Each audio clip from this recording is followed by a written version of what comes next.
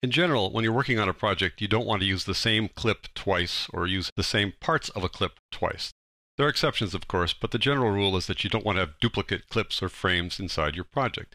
And Premiere Pro has this neat little feature that shows you when you've duplicated a clip or duplicated part of a clip in your project. To follow along, go to Working Files, go to Projects, and go on down to Dupe Frame Detection. I set up this project with 11 clips, and there's a reason for that that'll become apparent in just a moment. These are 11 different clips. They're sort of similar, but they're different. Let me turn off the audio there so you can see them without that noise distracting you. But nevertheless, there are 11 different clips here provided by Digital Juice for our use. And what I want to do now is set up the timeline such that if I duplicate one of these clips or parts of a clip, I'll get a visual indication that that's happened. And it's very easy to do that. Just go up here to this Timeline Display Settings button, click on it, and then click on Show Duplicate Frame Markers. What's going to happen now is if I duplicate a clip or part of a clip, a little colored line will show up at the bottom of the clip here indicating that that's happened.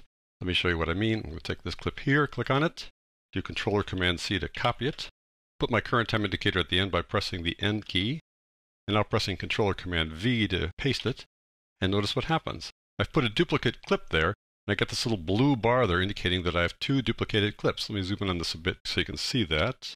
Called Time Lapse 2, and you see that it's a duplicate clip.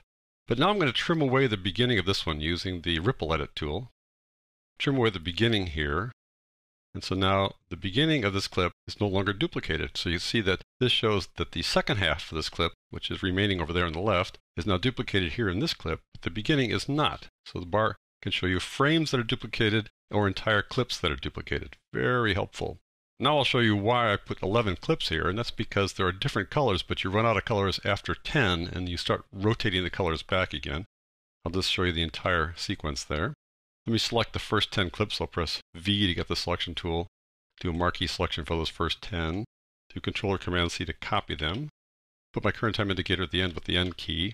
Let me zoom out a bit here so you can see everything. I'll do Controller Command V to paste those clips and watch this little rainbow of colors here. Pretty cool. I'll click away so they're no longer selected. Pink there, the duplicate clip is over there.